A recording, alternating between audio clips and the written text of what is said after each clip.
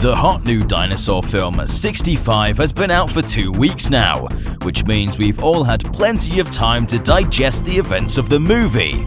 I watched it for a second time the other day, and I have to say I enjoyed it just as much as I did the first time. Some of the dinosaur designs really don't bother me. The pterosaur, velociraptor, troodontid, and tyrannosaur's design specifically actually looked pretty cool. If anything, I wish we saw more of the pterosaurs. But in the same film that gave us this, we have this. And this things that don't look like anything that could have existed. Jacob already went over the large quadruped carnivore that was most likely inspired by the Postosuchus, which is why I've given it the name Tyrannosuchus.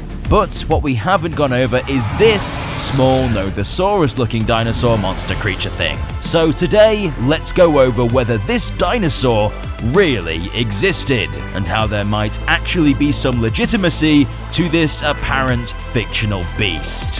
Bear in mind there will be some spoilers for the movie, so if you haven't seen it yet, come back after you've watched it. So subscribe and chomp the notification button so you know just where to go for 65 videos.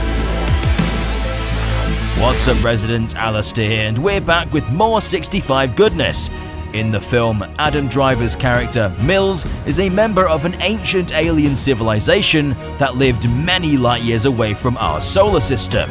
And on an exploratory journey, he came in contact with an asteroid, that's right, the asteroid, and he crash lands on Earth 65 million years ago. So he and the one remaining survivor, Koa, must journey 15 kilometers to get to the escape pod to get off the planet before the world-ending asteroid makes impact, and they encounter all sorts of terrifying beasts along the way.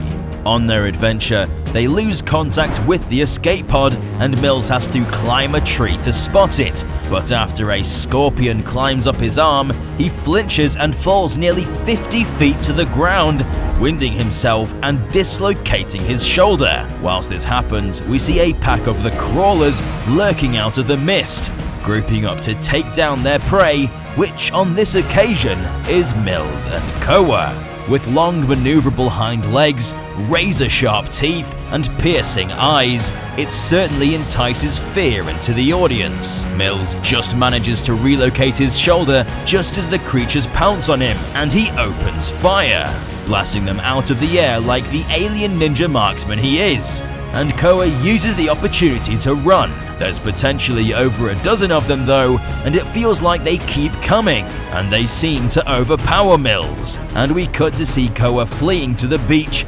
populated by a flock of pterosaurs. We see that a few of the crawlers have separated from their pack however, and they pounce on the unsuspecting pterosaurs, finally able to catch their next meal. But they spot Koa hiding by a log, and they begin lurking towards her, to claim yet another bounty, before Mills comes out of the forest and obliterates them with his sonic rifle before he kneels on the sand, clearly wounded from the vicious attacks. Another crawler comes from behind Koa and snatches her away, potentially back to whichever hole it came out of. Mills runs to her rescue and fires in the air, scaring the beast away.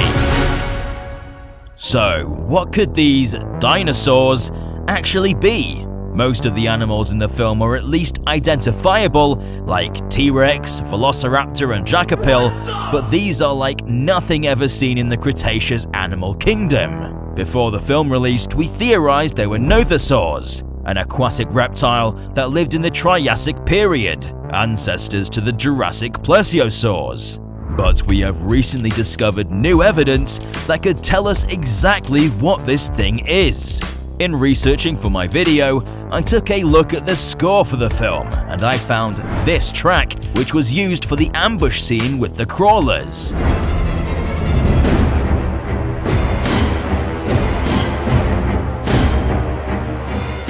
And this song is called Lego Attack, which points us towards one particular prehistoric reptile, the Lagosuchus. Lagosuchus is an extinct archosaur from the late Triassic of Argentina. Lagosuchus was a lightly built archosaur with many features that indicate it's a precursor to non-avian dinosaurs. Notable for its long, slender legs and well-developed feet, these features, along with the shape of its hips, suggest that it could have run on its hind legs for short periods of time, although it most likely moved on all fours most of the time, just like what we see in the film. Although, unlike the film, which has these terrifying predators being wolf-sized, the real Lagosuchus stood at a height of 25 centimeters with a length of 51 centimeters and weighed around the same as a common pigeon. But despite its small size, Lagosuchus was likely an agile predator that could use speed to chase its prey down and escape larger predators. They'd likely hunt for insects, unhatched eggs, grubs, and perhaps even smaller reptiles like Tatalura. Many people have come to call this reptile the Triassic ferret, which I think is pretty cute. So, did this monster from 65 really exist? Well, kinda. The Lagosuchus is a real Triassic reptile that did walk on all fours with long hind legs, but the reality of it is that the film version of the reptile is almost completely different such as the overall physiology of it and, most obviously, the increased size.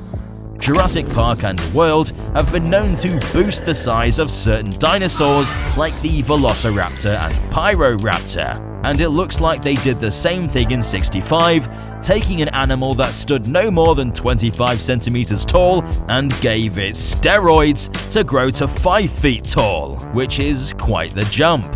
Also, where are its organs? This is so unnatural. Get that dino a sandwich. I'm just happy to finally put a name to this animal thanks to the film's soundtrack.